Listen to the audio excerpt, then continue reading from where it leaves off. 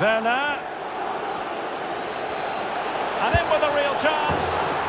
And a goal! Now they've broken through. 1-0 here.